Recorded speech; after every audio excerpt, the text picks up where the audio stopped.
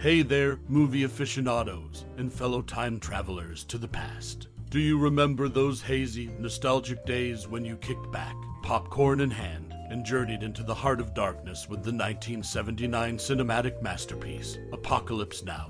If you're like me, you've been spellbound by the mesmerizing storytelling, iconic characters, and unforgettable moments that unfolded on screen. Whether it was the enigmatic Colonel Kurtz, the mesmerizing ride of the Valkyrie's helicopter assault, or the haunting sound of Jim Morrison's The End, there's something undeniably magical about this cinematic gem. So, tell me, did you watch Apocalypse Now back in the day? What's your cherished memory or favorite character? I'd love to hear about the moments that made you laugh, cry, or ponder the madness of it all. Let's stroll down memory lane together. Now, let's set the stage for some fascinating facts about the show that might just surprise you.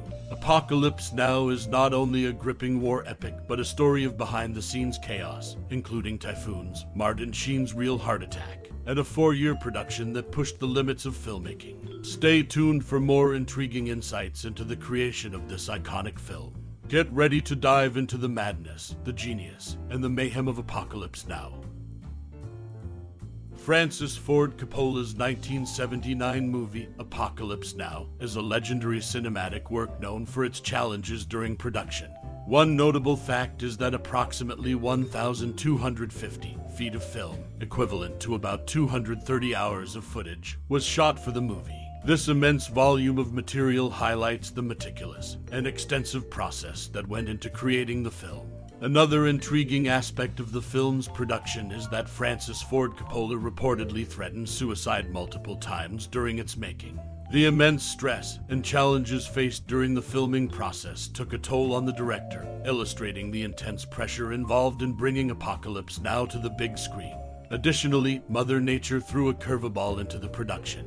A hurricane nearly destroyed the military sets during filming.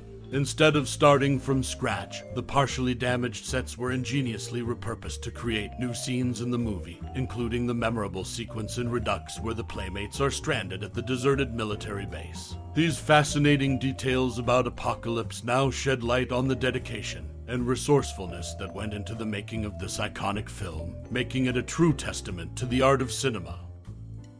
Colonel Kurtz in Apocalypse Now, and the inspiration of Lope de Aguirre in the 1979 movie Apocalypse Now. The character of Colonel Kurtz, portrayed by Marlon Brando, is a central figure. His character is inspired by the story of Lope de Aguirre, a 16th century Spanish soldier. Aguirre led a treacherous expedition through the Amazon jungle in search of the mythical city of El Dorado. The parallels between Colonel Kurtz and Lope Aguirre are evident in their descent into madness and their willingness to go to extreme lengths to achieve their goals. Kurtz, a rogue officer in the Vietnam War, becomes a symbol of the chaos and darkness of war, much like Aguirre's doomed quest in the Amazon. The film Apocalypse now draws from this historical reference to depict the moral and psychological disintegration of its characters in the heart of a different kind of jungle, the Vietnam War. This connection to history adds depth to the character of Colonel Kurtz and highlights the enduring impact of historical figures and events on modern storytelling. In the 1979 movie Apocalypse Now, director Francis Ford Coppola went through a remarkable physical transformation, shedding 100 pounds during the grueling filming process. His dedication to the project, which faced numerous challenges, including weather setbacks and budget overruns, took a toll on his health. Coppola's weight loss reflects the intense commitment required to bring this iconic Vietnam War film to life. The movie also contains a subtle but powerful commentary on the war. In the scene featuring a Playboy bunny show, sharp eyed viewers can spot drums labeled Dow Chemicals. Dow was one of the companies responsible for manufacturing Agent Orange, a controversial chemical defoliant used in Southeast Asia during the war. The presence of these drums serves as a reminder of the environmental and human costs associated with the conflict, as Agent Orange had severe and lasting health effects on both soldiers and civilians. Another memorable moment in Apocalypse Now is the helicopter assault scene set to Wagner's The Ride of the Valkyries. This music choice was not coincidental. In the original opera, Der Ring des Nibelungen, the Valkyrie's apparent victory ultimately leads to defeat. Similarly, the helicopter attack symbolizes a fleeting triumph in the midst of the broader war's ultimate futility. Apocalypse Now remains a powerful and thought provoking portrayal of the Vietnam War with its director's weight loss, the subtle reference to Dow chemicals, and the use of Wagner's music adding layers of depth and commentary to the film. The varied credits and real life helicopter drama of Apocalypse Now in the 1979 movie Apocalypse Now. There are intriguing details beyond the on screen action. One aspect involves the different treatments of opening and end credits in various versions of the film.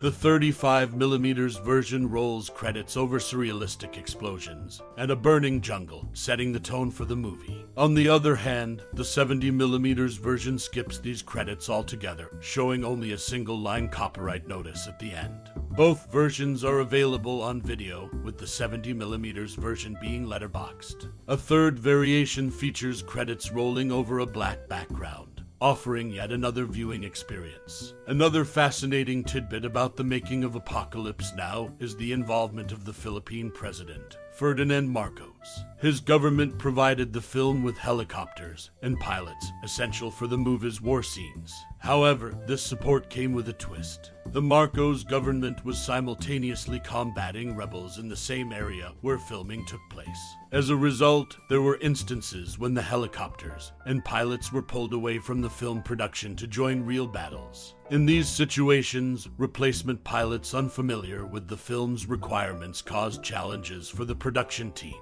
Now, as an interesting aside, consider the character Lieutenant Colonel Kilgore in the film. Kilgore is portrayed as a goofy foot surfer, which means he rides his surfboard with his right foot forward, a less common style compared to most surfers who have their left foot forward. In summary, Apocalypse Now is not just a compelling war movie, but it also boasts unique nuances, from the varying credits to the real life drama of helicopter support from the Marcos government, and even quirky details about its characters. As we navigate the river of memories, it's impossible not to be drawn into the turbulent, mesmerizing waters of the 1979 masterpiece, Apocalypse Now. The haunting journey through the heart of darkness, the enigmatic charisma of Colonel Kurtz, the hypnotic rhythms of the jungle, and the surreal ballet of helicopters set to Wagner's Ride of the Valkyries, all these elements have etched an indelible mark on cinematic history. For many, Apocalypse Now is more than a film. It's an exploration of the human psyche, a meditation on the duality of human nature, and a mirror reflecting our own inner conflicts. The film's narrative takes us deep into the heart of chaos and poses profound questions about morality, sanity, and the price of war. It's a cinematic odyssey that leaves an indelible mark on the soul, inviting us to confront our own darkness and wrestle with our inner demons. We invite you to take a moment and reflect on your personal connection with Apocalypse Now. What were the scenes that resonated with you the most? The characters that left a lasting impact? The lines that still echo in your mind? Did the movie change the way you perceive the world or cinema itself? We'd love to hear your favorite memories, thoughts, or experiences related to this cinematic masterpiece. Share your reflections and let us continue the conversation around this iconic film. Thank you for your time and interest in exploring the depths of Apocalypse Now. We look forward to hearing your insights and stories. Keep the discussion alive, and let's celebrate the enduring legacy of this cinematic gem.